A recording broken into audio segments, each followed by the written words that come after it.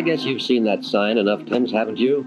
Any bar or club that sells liquor by the drink or any retail store beverages is sure to have it in a prominent place.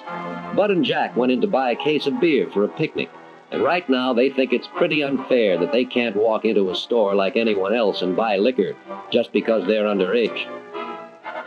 Oh, that's me, incidentally, Tom Ullman. I'm a sports reporter on the city paper. The boys want me to take their money and buy their drinks for them. No deal. Maybe it'd be a good idea if I told them a little something about why that sign is in the window and why they should be glad it is there. For anybody who fools around with this, adult or minor, is playing with dynamite. I decided to tell these boys about Paul, Jim, and Tip. Hmm. I guess you could say Paul started it all, but it wasn't all his fault, actually. You see, he was just too good a musician for his age. He played in dance bands with older fellas, and they taught him things he'd be better off not knowing. Jim had the richest father in town, and Tip, well, Tip was captain of the basketball team, all state the year before. They saw something funny in the way their friend Paul was acting as soon as he joined them. According to Paul, it's no fun drinking alone. He wants company. The other boys have never tasted liquor before, so they have to be dared into it. That first drink isn't very enjoyable, I can tell you. It burns your insides and it makes your eyes water. Tip refused the drink. He said he was in training and basketball meant too much to him. But that isn't good enough for his friends. He has to be a sport. You'd be surprised at how little it takes to get you tight that first time. That's true with adults, but at high school age, even though your mind seems mature, your body isn't, and alcohol is a violent narcotic.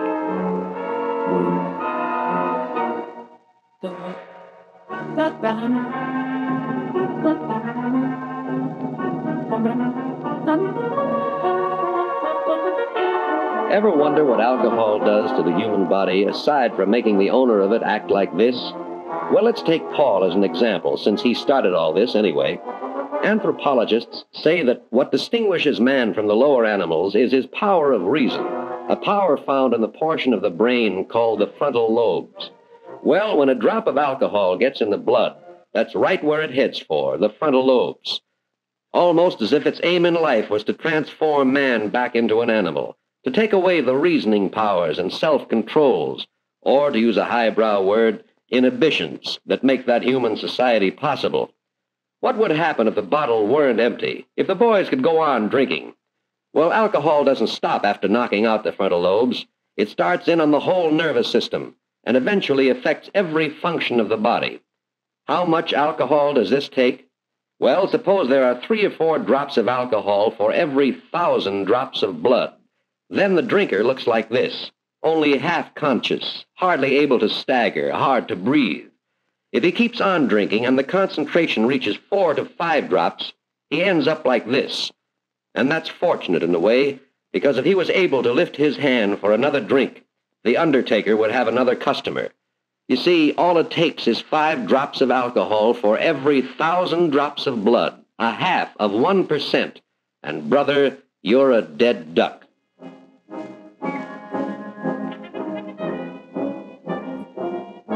Well, that first night was the start. Paul, Jim, and Tip took to drinking together. Jim's father gave him plenty of money, and Jim kept them in liquor.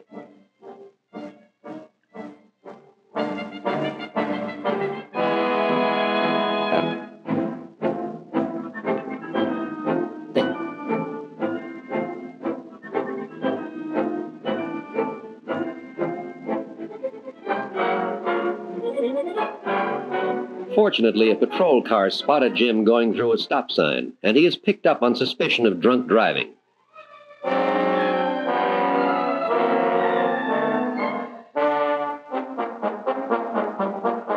Jim's father was summoned to the station, and because this was Jim's first offense, was successful in having Jim released, following a severe warning. In the meantime, Tip's playing went from bad to worse, and then came a day that Tip would like to forget but one he'll remember all his life. He was kicked off the basketball team.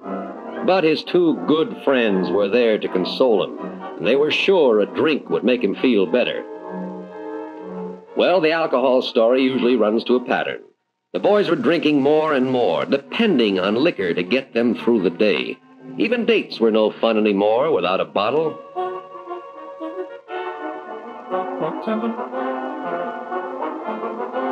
Naturally, what the waiter is doing is reminding them that he has a sign in his front window, too. We do not serve liquor to minors. But Jim had thought of that.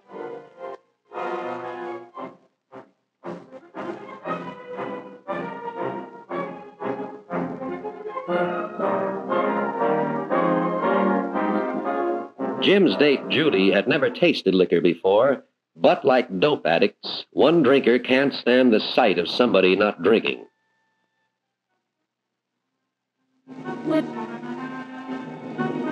And soon Judy catches the spirit of the thing.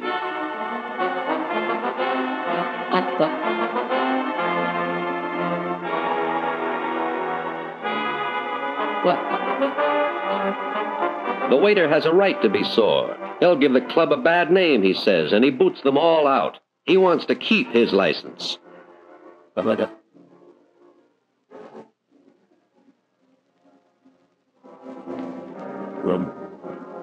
The boys can't understand Judy. Only two drinks and look at her.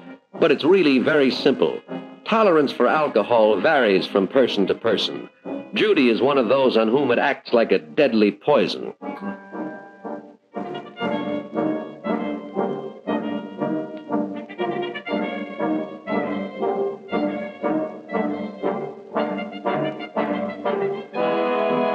On someone who has never used it before, the effect is a lot more violent. Wow. Jim himself is in no shape to drive. Right now, he wishes he'd taken just one less drink.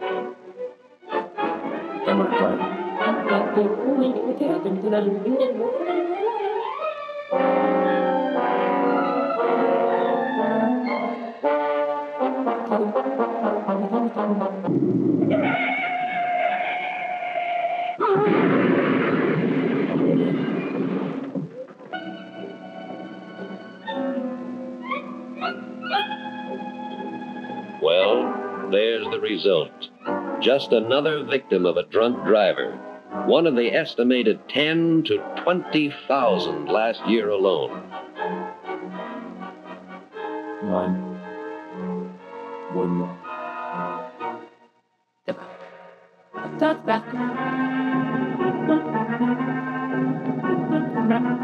Jim failed a few tests in high school after he started drinking, but he never failed a test as serious as this one.